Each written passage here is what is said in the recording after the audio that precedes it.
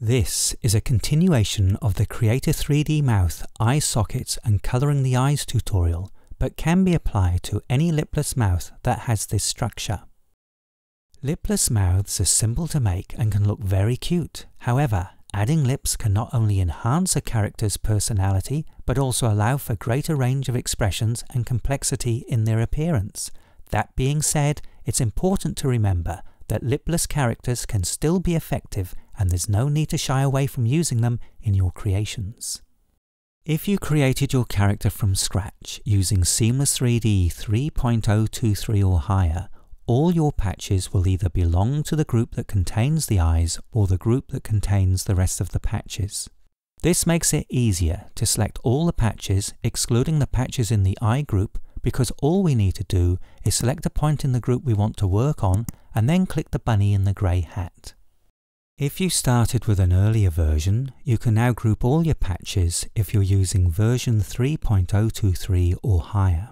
To do this, click the bunny, select a control point belonging to the group containing the eyes, and then click the grey hat to hide all the cages belonging to that group.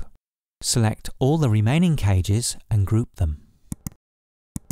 To avoid losing the glints in our eyes, we can export the group of patches that contains the eyes. To do this, select a control point that belongs to the group, click the bunny in the grey hat, select all the shown cages, and then from the File menu, select Export Selected Patches. Before clicking Save, click this button to reset to the folder that contains our character file if we want our exported patches in the same folder. I like to merge the patches for the mouth until there are only two patches remaining, one for the upper lip and one for the lower lip. This makes it easier to select the mouth for squashing, stretching, dragging up and down, in or out, which is something I frequently do when experimenting with a face.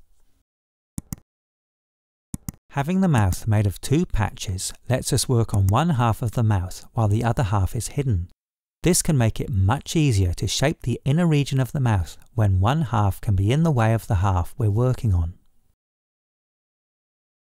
It's easy to spoil the look of a simple mouse by giving it lips, so it's good practice to save your file before experimenting.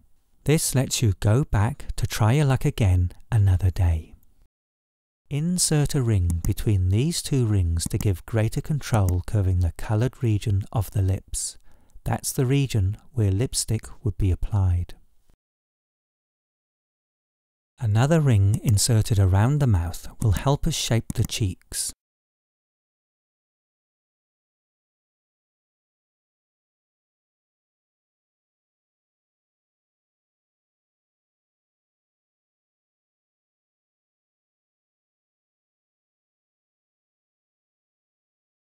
Pressing the back quote key, that's the key just below the S key, hides the cages from view without changing our selection of shown cages. Pressing the back quote key again toggles the cages back in view. As a result of shaping the mouth, the black dome may appear, so some adjusting to the dome may be needed to keep it hidden.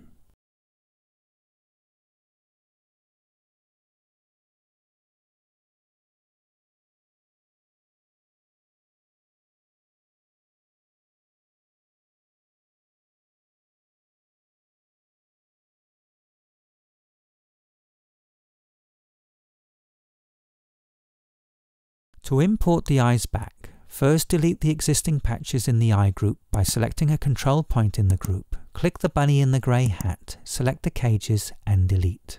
Now to import the eyes back, from the File menu, select Import Patches, select the eye group file and click Open. Click this button to reset the transform fields for the selected control points. If you want your head to have a smooth, rounded shape, which can make it easier to get an appealing look, focus on the outline of your head from different view orientations to see where the angles stick out and where to adjust the points. Sometimes the points that cause the angles are located further back from the outline, so you may need to rotate some more to get an idea which points need adjusting. Since we're creating a simplified face, it's not necessary to shape the lips exactly like real ones. However, Many of the principles that apply to creating realistic lips can also be applied when creating a stylized face.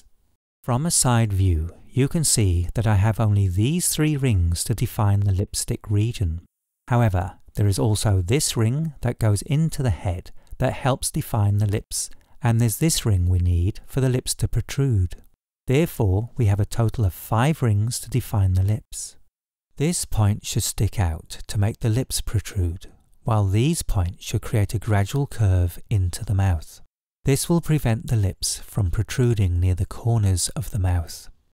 Much the same as for the top lip, this point should dip in to help this point protrude the lips, while these points should form a gradual curve into the mouth. The upper lip's lipstick region tends to be quite flat, while it tends to curve a lot more for the bottom lip, especially here. Bringing the corners of the mouth in while keeping the cheeks out to make it more childlike can create a cute look. While these rules can help me create a pleasing mouth, I've seen great art that breaks them, like Lady Tottington for example.